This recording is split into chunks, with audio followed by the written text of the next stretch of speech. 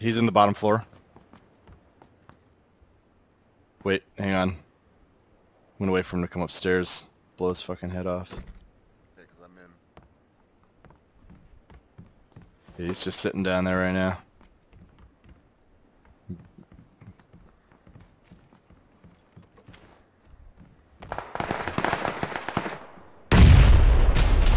Got him. Nice. His buddy is in the uh, neighboring uh, duplex. No, that was an instant kill. Oh, oh, the other guy was down there too. Oh, awesome.